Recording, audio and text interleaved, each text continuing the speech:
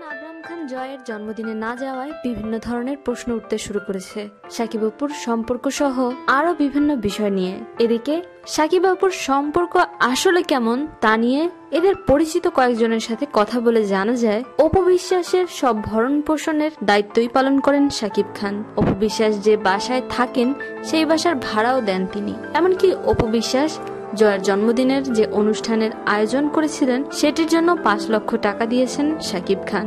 জয়ের যাবতীয় খরচ এবং অন্যান্য সকল খরচ বহন করেন সাকিব খান। তবে দুজন থাকেন আলাদা বাসায়। অপু থাকে তার মাকে নিয়ে, অন্যদিকে সাকিব খান থাকেন তার বাবা মায়ের সাথে সাকিব খানের বাসায়। এদিকে উত্তরায় নাকি সাকিব খানের নতুন একটি বাড়ির কাজ চলছে।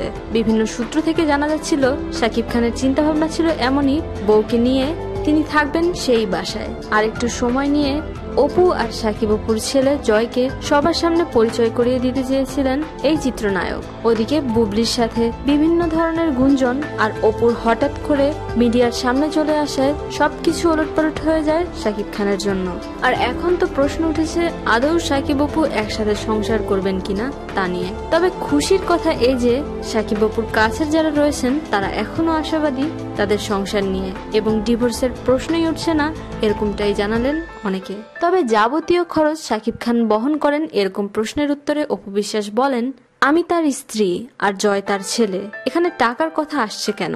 আর এসব কথা বলে কি প্রমাণ করতে চায় তারা, সেটাও আমার বোধগম্য নয়। সবার কাছে একটাই অনুরোধ, আপনারা দয়া করে আমার স্বামী সাকিব খানকে ছোট করবেন না। প্রিয় দর্শক, অপু বিশ্বাস ও ছেলে জয়ের সব খরচ বহন করেন সাকিব খান। অপু বিশ্বাস নিজেই বলেছেন, না চাইতেই তিনি এসব করেন। যখন যেটা প্রয়োজন, তার থেকে বাড়তিও দিয়ে দেন। কিন্তু অন্য আট জন স্বামী স্ত্রীর মতো হয় না তাদের সংসার। সমস্যাটা কোথায়?